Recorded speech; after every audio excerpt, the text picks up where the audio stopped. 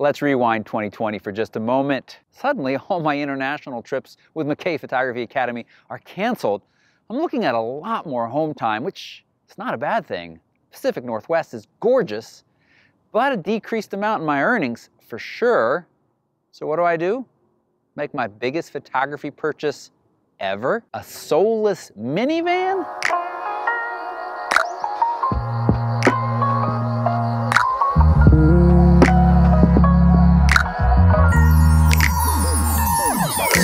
This video is brought to you by Squarespace. If you want to save 10% off your first Squarespace purchase, whether that's a domain name, web hosting, their marketplace, you can start at squarespace.com slash photorectv. Why a soulless minivan? Why not a Sprinter or a Vanagon with all of that fun character? Well, I really like the practicality of a minivan. It is large enough to sleep comfortably in. That's two people and two dogs. And also, they're really fun for day trips. That's the thing. This car is flexible enough to spend a couple of weeks camping in or just going around town with kids. And I'll show you how I've set this up in just a moment so that it's easy to switch out from one mode to the other without a whole lot of construction and building. I also really like minivans because if you're just driving it around town and you want to find normal parking space or even park in a parking garage, this thing's going to fit in there. And very practically speaking to me personally, this was at a price that I could afford. Most Sprinter vans, and especially Vanagons, they're a little bit further out of my price range. And because of the size of this vehicle and it's fairly modern, it gets great gas mileage. I get about 26 miles per gallon if I'm driving it carefully. Now, I know for some people, depending on your perspective, you might be like, that's not so great. But for a small, comfortable house on wheels, it's pretty good. It's about twice what mini Sprinter vans get.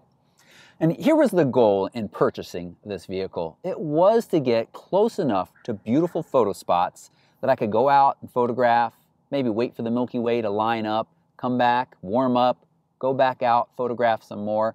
And here's an added bonus about having a small, comfortable house on wheels. If you set off on this journey, your significant other is much more likely to join you if they've got someplace warm and dry to hang out while waiting for you to finish your photograph. So I spent about $15,000 on this 2014 Honda Odyssey. Now that was at the top of my budget that I decided for this purchase, and that certainly is the most I've ever spent on any photography related purchase. You can save and you get much less expensive models if you go back just a few years and are willing to have a few more miles on the odometer. There's plenty of models that are under 10,000 easily. But I wanted this to be a vehicle that would last me for several years and hundreds of thousands of miles more. And also with kids that are at or near driving themselves, this had some really nice safety features that make it feel like it's something that they could drive. Plus, of course, the fairly normal car sizeness of this minivan. But there's a couple of features that really stood out to me that I personally was looking forward to in this model.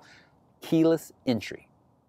Not worrying about how far down in my camera bag the key to this car has descended. You walk up to the doors and you open them up. It's also got a nice backup camera. It's got a right turn lane camera. It's got Bluetooth and it's got lots of modern safety features like airbags all around, which again just made this car feel safe and something again that my kids could drive down the road. Let's talk about the build, and I've got both a bit of motivation for you and a bit of disclaimer. If you were like me and prior to this, your build experience involved Legos and maybe some IKEA furniture, you can do this. Take your time. Now, we watched a lot of YouTube videos. There are so many. At first you think there's just a couple, and then you find a couple more. And then you find somebody who has a build that really looks like it's going to work for you. And we're going to put two of our favorites right down below. I think it was Eric Explores the Earth or the World and uh, the cute sweater guy, uh, Bruce Parks. So those links right down below. Uh, and, and the Bruce Parks guy's build, mind blowing. We're nowhere near that. But I'm really proud of what we accomplished with a couple of trips, okay, maybe like a dozen trips to Home Depot, couple two by fours, and a piece of plywood. With some hinges. Now, when we started this build, we had a much more handy friend come over to lend some support, but we quickly realized that this was within the realm of what we could accomplish on our own. And again, if we can do it, you can do it. Said I wanted this build to be really flexible and it was important to me that the middle seats can be in here while the bed frame is in here as well. And see, here's the thing, I, I bought a small minivan. I also live in a fairly small house. We just don't have room to store this bed frame when this is acting like a regular minivan. So I'm really happy that we can have both in here at the same time.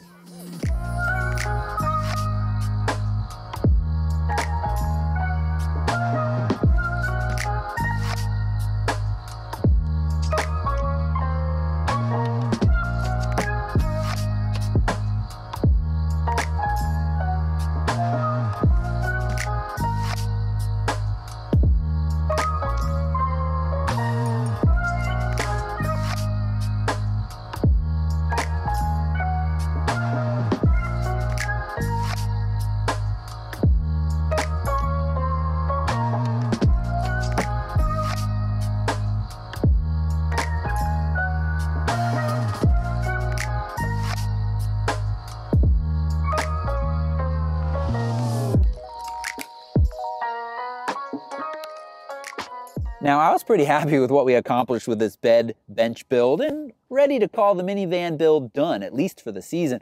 But Chris had another idea. She wanted some kind of shelf or vanity system.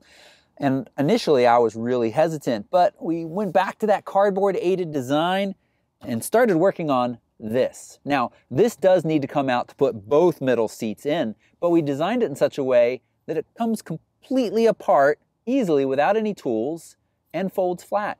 So we can actually store it behind the bed bench system or stick it in our basement if we don't need it for a while. But here's why I love it. It gives us an organized place to put stuff. We've got our large water jug here. We've got a luggable loo. Yeah, we've got a little bathroom in here. Sure, it's just a bucket, but it's great. And of course, shelf space to put stuff and this really cool little feature, spot to attach a table. This video is brought to you by Squarespace. I've been using Squarespace now for a couple of years for my Photorec.tv and my own personal portfolio. And I absolutely love how easy it is to create new content and add pictures. You've got gorgeous starting templates that are extremely easy to customize. And if for any reason you get stuck, they offer 24 7 tech support. A great group of people ready to help you with whatever you need. Recent updates have added all kinds of awesome features. It truly is an all-in-one platform. You've got a members-only area that's drop dead easy to set up.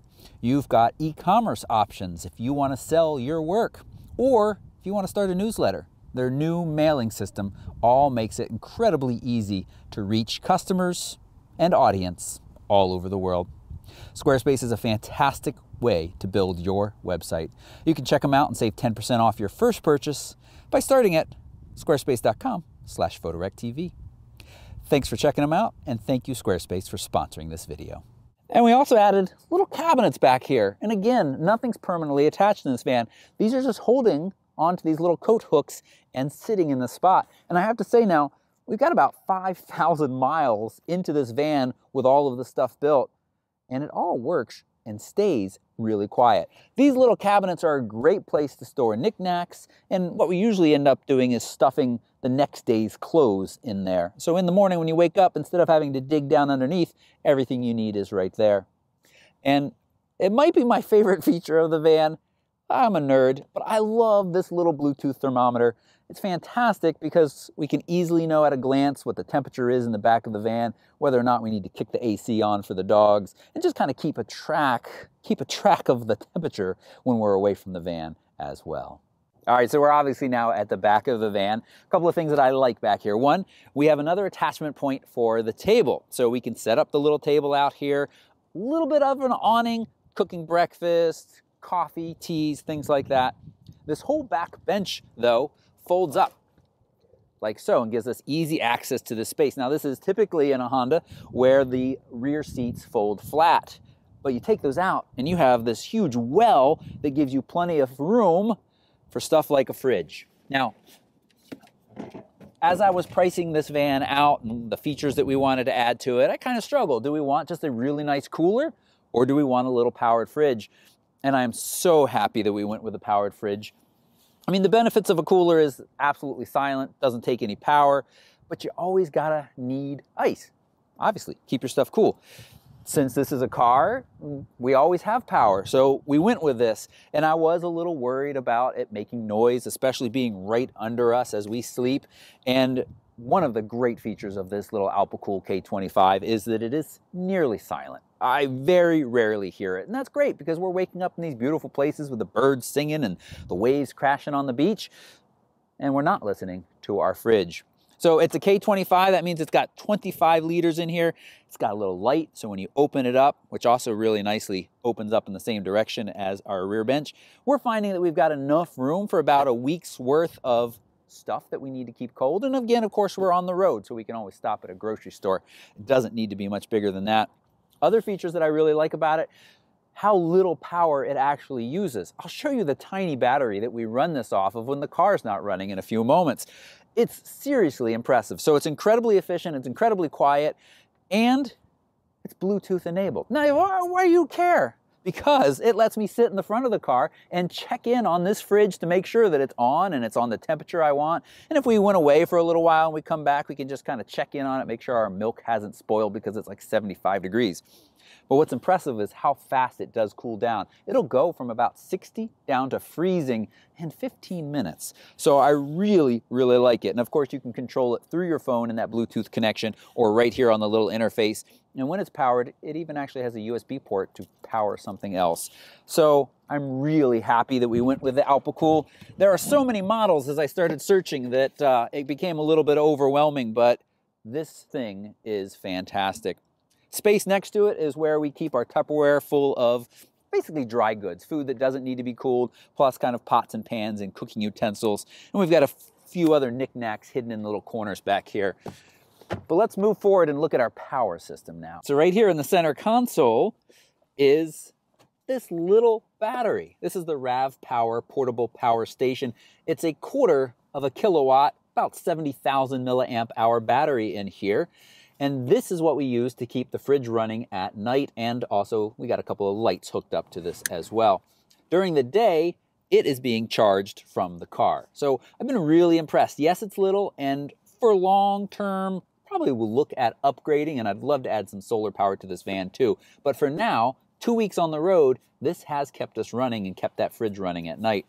On top, it's got two AC outlets on the side, you've got three standard USB ports and then a USB-C port capable of power delivery and also charging. And that's how we charge it as we're driving down the road. But you can also charge it via DC or AC, and it comes with that plug and also a solar port charger right there and a little light on the side as well. And again, I've used this to keep my laptop running, powering drone batteries, and powering up our phones, watches, and the lights and the fridge in the van. And it all sits right down here very nicely in the center console, along with some spare USB-C cords and other stuff to kind of keep all the electronics happy because I find it difficult to leave home without a large pile of electronics. All right, another item we purchased for the van build. This was Chris's idea, and I was initially quite skeptical because I've grown to love this. It's a little battery powered faucet. This runs down into our giant water jug and makes it incredibly easy to fill up our water bottles. We've actually even used it to shower. Well, kind of shower, wash her hair at least, and wash the dogs. Ultimately, I'd love to put a little shelf system here so that you can just set the water bottle down.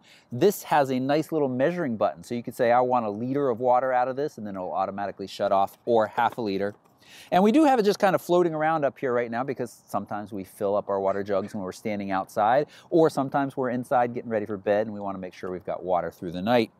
When we're traveling, it sits down here on the shelf. Ultimately, I'd love some way to kind of fix it in place, but still gives us that flexibility. So lots of little things that I'd still like to do to this fan, but again, as I said this season, I've been pretty happy. We can start to wrap this video up. If you want more, if you want like a detailed list of everything we bring that we love, all the different little lights and gadgets, you can give this a thumbs up. Or even if you don't want the video, it's nice of you to give this a thumbs up if you found it enjoyable. And look, I want to kind of close with a couple of things. One, I recognize not everybody has the money to spend on a minivan that they can then go touring around. And it made me very nervous to put down this amount of money in a year, especially where I knew my earnings were going to be decreasing. But it's more than paid for itself, uh, just in enjoyment and being able to travel and see all of these wonderful places and have a comfy place to sleep. I'm getting a little soft in my older days, and be able to bring loved ones along with me that I care about and have on these journeys. It's made it really special. And I also, again, want to stress the motivational part. Prior to this, Legos and poorly built IKEA furniture was the limit of my experience. So if we can do this, you can do this as well. And if you're not ready to purchase, but you really love the idea of kind of the van life, check your local town or city. There might be somebody there willing to rent to you. Here in Seattle, we have the awesome Peace Vans rental. We've worked with them a couple of times. They rent Vanagons, they rent modern minivans, the Mercedes Metris.